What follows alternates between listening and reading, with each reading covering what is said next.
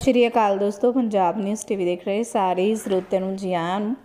ਦੀਵਾਲੀ ਵਾਲੇ ਦਿਨ ਇੱਥੇ ਹੋਇਆ ਰੋਂਗਟੇ ਖੜੇ ਕਰਨ ਵਾਲਾ ਐਕਸੀਡੈਂਟ ਮੌਕੇ ਤੇ ਹੋਈਆਂ 14 ਮੌਤਾਂ। ਤਾਜ਼ਾ ਵੱਡੀ ਖਬਰ ਆ ਚੁੱਕੀ ਹੈ। ਖਬਰ ਨੂੰ ਸ਼ੁਰੂ ਕਰਨ ਤੋਂ ਪਹਿਲਾਂ ਜਿਨ ਲੋਕਾਂ ਨੇ ਚੈਨਲ ਨੂੰ ਸਬਸਕ੍ਰਾਈਬ ਨਹੀਂ ਕੀਤਾ ਸਬਸਕ੍ਰਾਈਬ ਕਰ ਲੈਣ ਤੇ ਵੀਡੀਓ ਨੂੰ ਹੱਥ ਤੋਂ ਲਾਈਕ ਤੇ ਸ਼ੇਅਰ ਵੀ ਕਰ ਦੇਣਾ।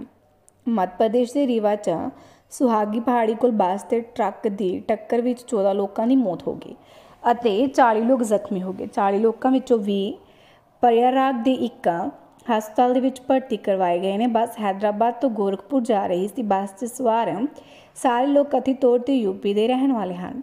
ਜੀ ਹਾਂ, ਘਟਨਾ ਸ਼ੁੱਕਰਵਾਰ ਦੇਰ ਰਾਤ ਦੀ ਹੈ। ਬੱਸ ਜਬਲਪੁਰ ਤੋਂ ਚੱਲ ਕੇ ਰੀਵਾ ਦੇ ਰਸਤੇ ਪ੍ਰਯਾਰਾਗ ਦੇ ਜਾ ਰਹੀ ਸੀ। ਸਵਾਰੀਆਂ ਨੂੰ ਲੈ ਕੇ ਬੱਸ ਕਟਨੀ ਤੋਂ ਉੱਤਰ ਪ੍ਰਦੇਸ਼ ਤੇ ਲਖਨਊ 'ਚ ਰਵਾਨਾ ਹੋਈ। ਜਿਵੇਂ ਹੀ ਬੱਸ ਰੀਵਾ ਦੇ ਸੁਹਾਗੀ ਪਹਾੜੀ ਕੋਲ ਪਹੁੰਚੀ ਤਾਂ ਉਹ ਬੇਕਾਬੂ ਹੋ ਕੇ ਟਰੱਕ ਨਾਲ ਟਕਰਾ ਗਈ।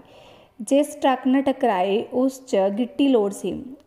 ਟਰੱਕ ਨਾਲ ਟਕਰਾਉਂਦੇ ਹੀ ਬੱਸ ਪਲਟ ਗਈ, ਜਿਸ ਵਿੱਚ ਬੱਸ 'ਚ ਅੱਗੇ ਹੀ ਸੀਟ ਤੇ ਬੈਠੇ ਸਾਰੇ ਲੋਕਾਂ ਦੀ ਮੌਤ ਹੋ ਗਈ। ਖਬਰ ਨੂੰ ਅੰਤ ਤੱਕ ਦੇਖਣ ਦੇ ਲਈ ਤੁਹਾਡਾ